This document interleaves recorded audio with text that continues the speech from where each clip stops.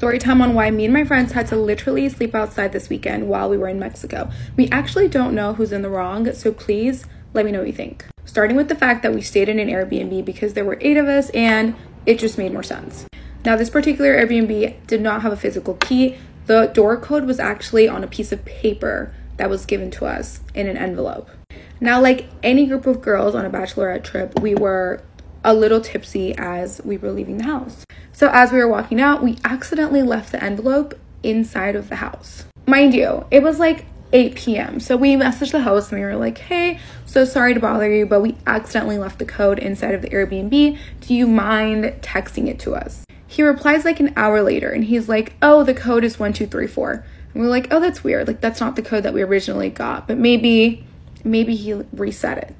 Around one o'clock, we were like, let's go home. It's late. We have a yacht day tomorrow, so we should be responsible and just like go to.